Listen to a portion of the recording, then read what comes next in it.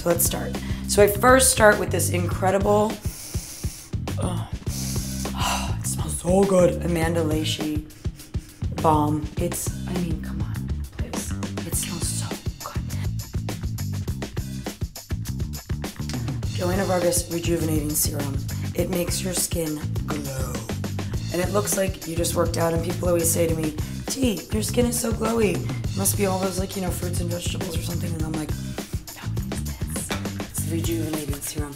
And then, you know, I've always heard this kind of, you know what they do with it at the esthetician when you get your facial, and they're like, mm, go ahead and do that. You know, mm. so you give your face a little love, a little circulation. Always use Makeup Forever in the waterproof version for the under eyes. So a little dab, dab, dab. I don't move without it. I work out with it. Wash it off. Put it back on. Just makes you feel better. You know, it makes you feel more awake, and that's really what it's all about. How you feeling today? You know?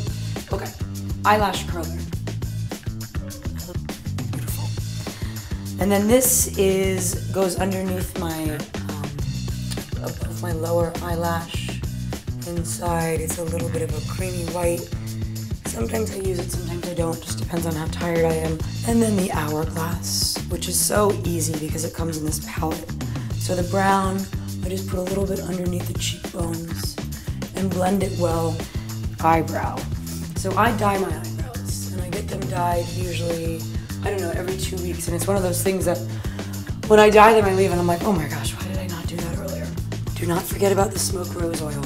Oop, put a couple dots in my hand. We have I mean, if love smells like anything, it's that. And that's it.